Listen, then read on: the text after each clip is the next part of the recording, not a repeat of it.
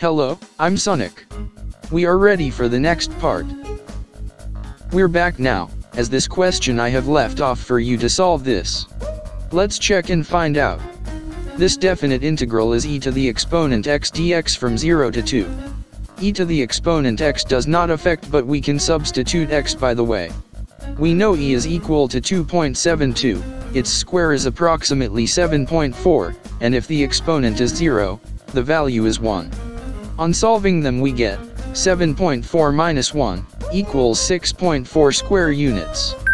This can now be shaded in this graph. Another part is log x dx from limit 1 to 10. Only the first step is to separate 1 and log x.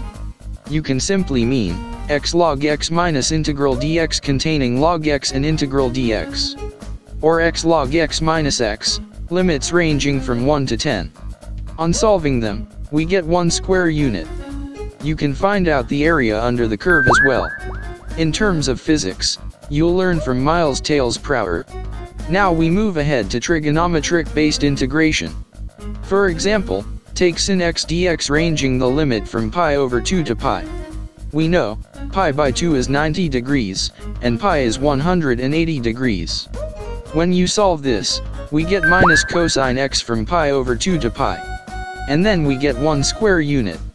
We can now shade this part. Similarly, we can try the others as cosine x to sine x, square secant x to tan x and others.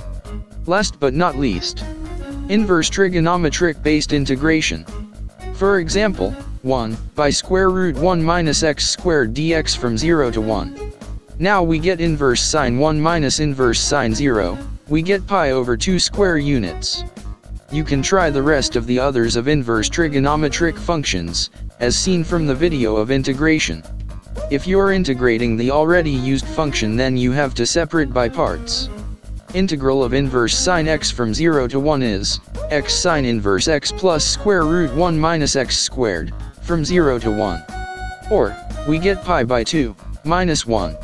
So you now know how the definite integral works. Like, comment, and subscribe now on YouTube.